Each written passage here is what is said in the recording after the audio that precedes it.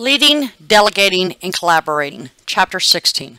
The accomplishment of organizational goals and outcomes is contingent on the actions of leaders, whose influence and interaction encourage coworkers and patients towards their goals.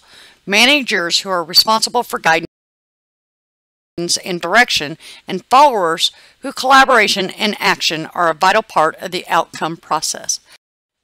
As John Quincy Adams once said, if your actions inspire others to dream more, learn more, do more, and become more, you are a leader. After this lesson, the student will have met course objective 6 and the following lesson objectives. To define leadership, describe leadership role in nursing, compare leadership styles, analyze own leadership style, delegate according to professional principles, collaborate as part of the healthcare team, describe accountability that's embedded in leadership, describe role of the advocate, and analyze strategies for conflict management. First, we're going to define leaders. Leaders influence patients, families, and others towards a vision or a goal. They empower others. They communicate a sense of direction and demonstrate self-confidence. Characteristics of a leader are competence, trustworthiness, self-assuredness, decision-making ability, and prioritizing skills. The tasks of leadership include envisioning goals, affirming values, motivating others, managing, achieving workable unity, developing trust, explaining, serving as a symbol, representing the group, and renewing the self. Now let's look at a brief overview of managers. When you take a look at management, they provide the structure and direction necessary to accomplish goals and outcomes that are known and where there is a system in place to achieve the outcomes. Managers are any staff member who bears responsibility for the work of others. It's anyone who must ensure the completion of an organizational process. And it's one who guides the processes necessary to accomplish tasks necessary to achieve organizational outcomes. Then we have followers. Followership, not a passive process. It uses personal behaviors that contribute to the healthcare team's goals. They demonstrate, collaborate, influence, and action with the leader or manager to accomplish goals and outcomes. They should be willing to question, debate, compromise, collaborate, and act as well as be accountable for those actions. Leadership is a preferred method, so we're going to discuss leadership in detail. Remember, leadership is a strong leader that assesses the traits of the team and directs them in a way that is the most beneficial to the care of the patient and the morale of the team. They have the ability to influence outcomes through positive interactions with team members. Let's discuss the characteristics again. They are able to recognize the strengths and weaknesses within the team. They manage them to affect a positive outcome from a plan of care it empowers all team members to do the jobs of which they are most capable, and they delegate assignments, tasks, and duties to the best individuals for the particular job. Now I want to define the leadership role. A strong leader has clinical expertise, team members respect them, and they have critical thinking skills. A wise leader delegates tasks to the best individual team member and trusts him or her to complete the task correctly and efficiently. Managing is directing or supervising others as a means to control a situation. Managing patient care is overseeing the plan of care and directing others to implement the plan toward achievement of the desired outcomes. A manager has leadership qualities, acts as an advisor, and influences the beliefs of others. Continuing to define the leadership role, there is the both an expectation and an earned role. It's decisiveness, sound judgment, and the ability to articulate fluently. They have self-knowledge, respect, trust, integrity, vision, participation, learning, communication, and catalyzing change. attributes, and then they have the display of integrity. There are different leadership styles. Depending on team composition and dynamics and desired patient outcome, an RN's leadership style may differ substantially depending on the situation. The democratic leader. They base decisions on consensus, mutual agreement. They delegate duties according to the strengths within the team. The autocratic style, also called authoritarian. They use power to influence others and affect outcomes. There is the laissez-faire style. This is non-directive, deliberately intervenes as little as possible. Leadership approaches include uh, the change is influenced through empowerment of the nurse and team members. The approach depends on the personalities of the team and situation. The RN incorporates one or more styles of leadership to meet the needs of the patient. There is open communication that is needed among group members. Clear goals and objectives must be part of the plan of care, and each member must understand his or her role in meeting the goals. Then we have the transactional leadership. This is a traditional boss whose decisions are made without staff input.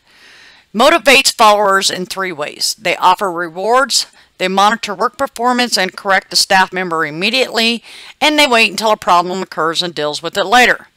They rely on power and authority to reward or punish performance, and they are usually found in stable work environments. Then we have the transformational leadership. They seek and welcome input from staff. They bring out the best in people. They identify common values, is committed, is visionary, examines outcomes, and empowers others. They are charismatic, inspirational, motivational, and intellectually stimulating, and treat others as unique individuals. They motivate followers to reach fullest potential. They support creativity, uniqueness in problem solving, and an individual spirit of freedom. Then we have the servant leadership. They emphasize service to others, including employees, customers, and the community as a first priority. They focus on the needs of others. They empathize with them and is attentive to the concerns of followers. They involve listening, empathy, healing, persuasion, awareness, foresight, conceptualization, commitment to the growth of people, stewardship, and building community.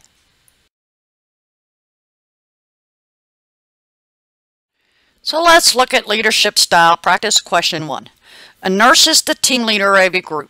There's a problem with the patient and the nurse asks the team members for their input and waits until the group comes to an agreement. Which leadership style is this nurse using? Is it democratic, autocratic, laissez-faire, or transactional?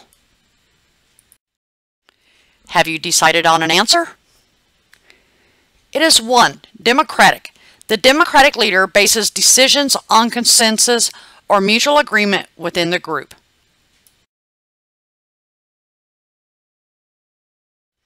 The leadership approach of the RN can affect team satisfaction and patient outcome. Transactional leadership is authoritative and power-based. Transformational leadership encourages positive change and supports individuality. And servant leadership fosters service to others and positive interaction among healthcare staff. Let's discuss leadership and emotional intelligence. Emotional intelligence is caring for people in an empathetic way, developing therapeutic relationships with patients and team members, and recognizing, acknowledging, and managing emotions in order to interact positively with others. There are four major domains. There is self-awareness, self-management, social awareness, relationship management. This refers to recognizing and regulating emotions in ourselves and others. We can improve staff relationships, improve patient outcomes, motivate others, resolve conflict, and create a healthy work environment. Now, when you talk about ethics and leadership, ethical decision making is a crucial part of the RN's role as a leader. Northouse's five principles of ethical leadership should be considered when an RN is faced with an ethical issue or dilemma. Leadership has a moral or ethical dimension. There are five principles of ethical leadership serving others, showing justice, respecting others, honesty, building community. Leaders' ethical responsibilities include to treat followers with dignity and respect and be sensitive to their interests, needs, and concerns. Now let's review culture and leadership. Considering the cultural differences of the healthcare team, it is necessary in order to form a cohesive working relationship. Generational issues may be the hardest to overcome because of the differences in work habits, attitudes, and beliefs. Cultural competence extends to workplace as well. There are four generations in the workforce. We have the veterans. They value loyalty, respect authority, and want reward for hard work. We have the baby boomers. They view future with optimism and promise and desire to proper financially and contribute meaningfully. We have Generation X. They are loyal to the profession but unwilling to sacrifice for employer. Then we have the millennials. They are open-minded, collaborating, and civic-minded. Now let's discuss delegation. Delegation requires the RN to know state regulations and scope of practice for those under his or her authority. Definitions include assigning tasks or duties to an entrusted individual, getting work done through others, and directing the performance of one or more people to accomplish organizational goals. Principles of delegation include that delegation is a delicate process that must be clearly and rationally considered. Among the issues that must be addressed are the conditions of the patient, the skills of the team members, the appropriateness of the task, proper communication, and sufficient resources. The RN should follow the five rights of delegation to ensure proper assignment. Remember, the RN takes responsibility and accountability for the positions of the nursing practice. The RN directs care and determines the appropriate utilization of any assistant involved in providing direct patient care. So we look at assessment, planning, evaluation, and nursing judgment cannot be delegated. The decision of whether or not to delegate or assign is based on the RN's judgment. The RN delegates only those tasks that the healthcare worker has the knowledge and the skill to perform. The RN delegates the right task under the right circumstances to the right person with the right direction and communication and with the right supervision. There are issues in delegation. RNs cannot delegate, like we said before, nursing assessments, determination of diagnosis, and interventions requiring professional skill. A fair delegation process takes into account tasks already assigned, scope of practice, and experience. Trust, deadlines, and proper supervision will foster confidence in those to whom tasks have been delegated. Patient safety must always be maintained by understanding the scope of practice and the skills and abilities of the other healthcare team members. Delegating fairly does not mean delegating equally. According to the ANA, three elements may not be delegated. Remember, we discussed some of these earlier. The initial and subsequent nursing assessments that require professional judgment, determination of nursing diagnosis, goals, plans of care, and progress, and interventions that require the application of professional knowledge and skills. If a person resists, provide deadlines, avoid over-supervising, First, assess the reason for the resistance or refusal to perform a specific task. Then take appropriate action to remedy the situation. Remember that if the patient has not been assessed by an RN, delegation should not occur. Now let's discuss collaboration. This is an agreement on the plan of care, communication among team members, mutual respect, skill recognition, and accountability must all be present to have collaborative health care. The definition is partnership arrangement between two or more individuals who have a mutual agreement to work together. Successful collaboration includes that the team must agree on the plan of care and the prioritization of the components of the plan, have excellent communication among the team members, and mutual recognition and respect. Accountability is where the RN is accountable for making sure the patient plan of care is followed by all members of the healthcare team within their scope of practice and with consideration of standards of practice and institutional policies. The RN must ensure that the plan of care is implemented, evaluated, and possibly modified so that the patient outcomes are the best that they possibly can be. Professional advocacy. The RN must advocate for the patient by promoting the patient's decisions, communicating these decisions to the healthcare team, and developing a plan of care to meet the patient's needs. Advocacy. One individual promotes someone else or someone's ideas. As a patient advocate, the RN promotes the patient's decisions in a non-judgmental manner. The RN's responsibilities include to assess the patient's understanding of the plan of care and ensure that the patient has all the information needed to make informed decisions. They must be caring. They have a commitment to preserving the patient's humanity, personal worth, and dignity. They need to speak up concerning unsafe conditions because patient safety is paramount. They need to advocate for the public and the nursing profession. Involvement with professional organizations and becoming an active in legal issues concerning healthcare policy is a key component. And they must be able to extend advocacy to themselves. So collaborating and advocating through the medical plan of care, uh, working in collaboration with all members of the healthcare team, the RN should communicate effectively with the physician in charge of the medical plan of care.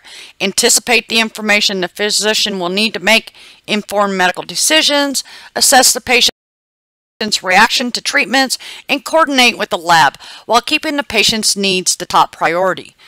The physician is the manager of the medical plan of care. The RN must anticipate the medical direction, understand the orders written, and foresee how they will affect the patient and patient care. The RN must also understand the complexities of patient care management in order to advocate for the patient.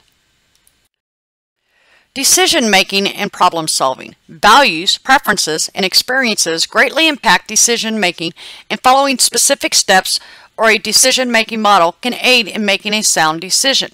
So during decision making, it involves making the decision that's focused on trying to solve an immediate problem. Problem solving is a purposeful and goal-directed process that is aimed at identifying and selecting options as part of a problem-solving, plan change, or improvement.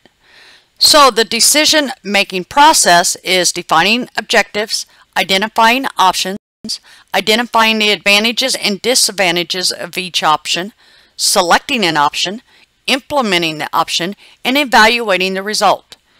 Effective decision making and problem solving process includes gathering data from many sources, learn different approaches to problem situations, observe positive role models in action, talk to a colleague or superior who is an effective problem solver and decision maker, perform research to increase your knowledge base, and take risks using new approaches to problem solving.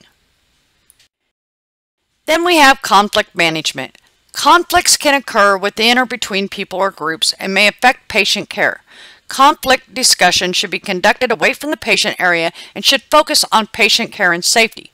So conflict, this is an opposition of feelings, beliefs, desires, or goals. Types are intrapersonal, that's within one individual. Interpersonal, that's between or among two or more individuals. Intragroup, that's within one group. And intergroup, and that's between or among two or more groups. So remember the guidelines. You need privacy and you're willing to talk calmly and rationally. If not, stop the process and discuss at another time. Ask for help if it is needed. Think about sacrifice resolution. Sacrifice resolution involves compromise by one or both parties that can cause resentment. Someone accommodates the other by essentially sacrificing his or her position, thus allowing the other to have his or her way. Then we have competition resolution. It also causes resentment. Competition resolution pits team members against each other when they should be working with each other.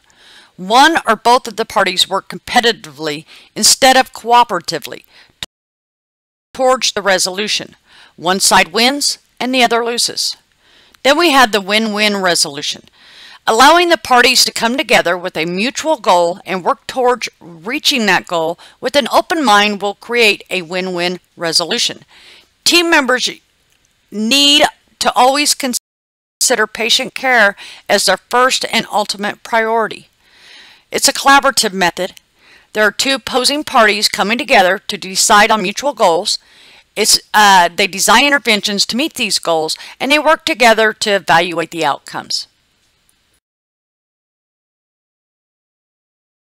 So let's look at conflict management practice question number two.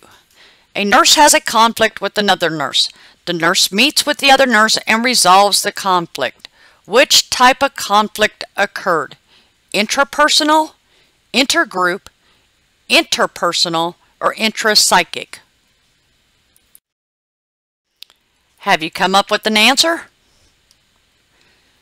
Number three, interpersonal. This is a conflict that can be interpersonal, and it what it is is between or among two or more individuals. This concludes this lesson.